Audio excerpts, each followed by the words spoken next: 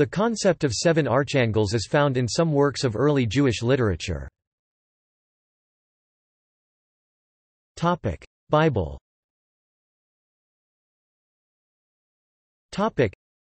the term archangel itself is not found in equivalent in the Hebrew Bible, and in the Greek New Testament the term archangel only occurs in 1 Thessalonians chapter 4 verse 16 and the Epistle of Jude chapter 1 verse 9, where it is used of Michael, who in Daniel is called one of the chief princes, and the great prince.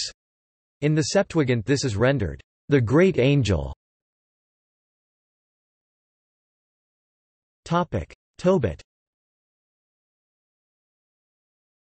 Tobit The idea of seven archangels is most explicitly stated in the deuterocanonical book of Tobit when Raphael reveals himself, declaring, I am Raphael, one of the seven angels who stand in the glorious presence of the Lord, ready to serve him.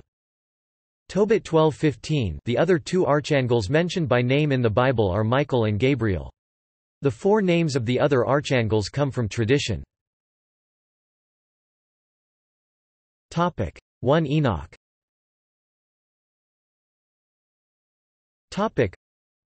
one such tradition of archangels comes from the Old Testament Jewish Apocrypha, namely the 3rd century BCE Book of the Watchers, which at some point was merged with some other books in what is known today as 1 Enoch the Book of Enoch, and was made part of the Ethiopian Orthodox Tewahedo Church's scriptural canon, although by the 7th century it was rejected by Christian leaders from all other denominations as canonical scripture, and despite having been prevalent in Jewish and early Christian apostolic traditions as well as the early Christian leaders' writings the book just fell from academic and religious status in regards to the rest of the canonical scripture, resulting in the text not being found in most parts of the world, as it was forbidden, from 7th century AD onwards.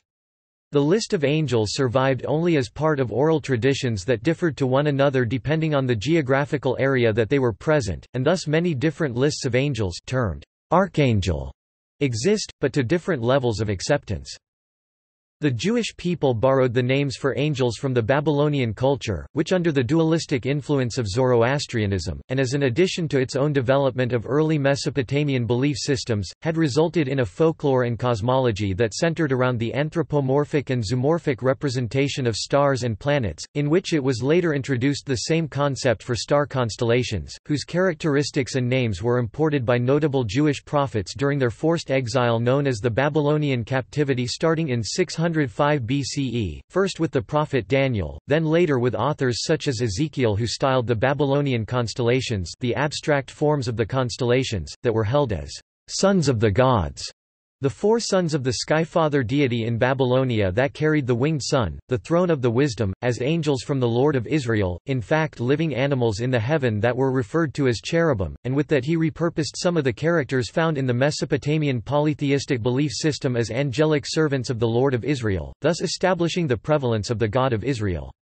The 2 BC Book of the Parables, chapter 40, echoes such folkloric representations, and gives the name of the four angels with whom the Ancient of Days comes, the ones standing before the Lord of Spirits, the voices of those upon the four sides magnifying the Lord of Glory, as, Michael, Raphael, Gabriel, and Phanuel.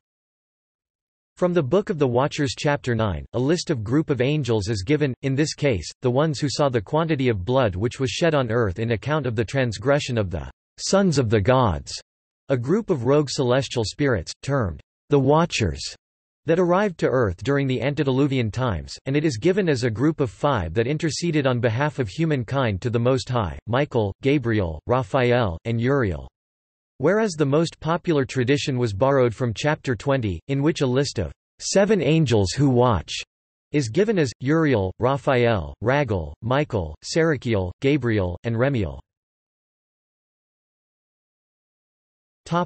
Christian traditions Topic: the earliest specific Christian references are in the late 5th to early 6th century. Pseudo-Dionysius gives them as Michael, Gabriel, Raphael, Uriel, Chamuel, Jophiel, and Zadkiel. Pope Saint Gregory I lists them as Michael, Gabriel, Raphael, Uriel or Anael, Simiel, Oriphiel, and Raguel.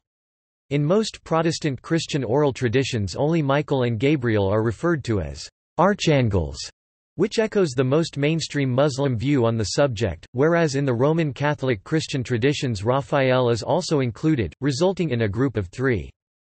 In Yazidi religion, there are seven archangels, named Jabra, Il, Mika, Il, Rafa, Il, Israfil, Dadra, Il, Azrael and Shamkel and Azazel, who are emanations from God and entrusted to care about the created world. Lists of characters referred to as angels also exist in traditions foreign to the largest religious groups, and are usually regarded as occultist or superstitious. A later reference to seven archangels appeared in an 8th or 9th century talisman attributed to Aureolus, a servant of God, in northwestern Spain. He issues a prayer to all you patriarchs Michael, Gabriel, Cecidiel, Oriel, Raphael, Ananiel, Marmoniel.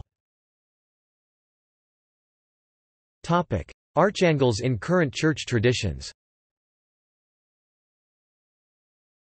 Topic: In the Catholic Church, three archangels are mentioned by name in its canon of Scripture, Michael, Gabriel, and Raphael.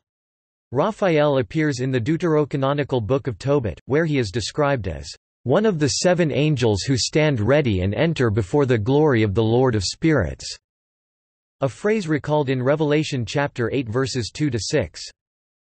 Some strands of the Eastern Orthodox Church, exemplified in the Orthodox Slavonic Bible Ostrog Bible, Elizabeth Bible, and later consequently Russian Synodal Bible, recognize as authoritative also two Esdras, which mentions Uriel. The Eastern Orthodox Church and Eastern Catholic Churches of the Byzantine tradition, venerate seven archangels and sometimes an eighth. Michael, Gabriel, Raphael, Uriel, Selaphiel, Salathiel, Jegudiel, Jehudiel, Barachiel, and the eighth, Jeremiel, Jeremiel the synaxis of the chief of the heavenly hosts, Archangel Michael and the other heavenly bodiless powers. Feast day, November 8.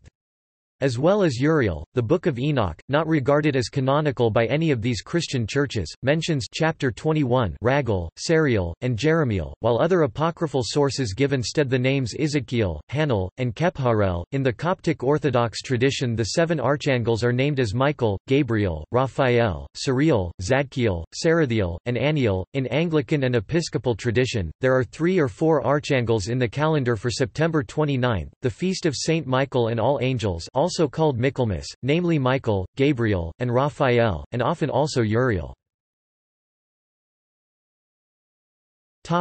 Other ideas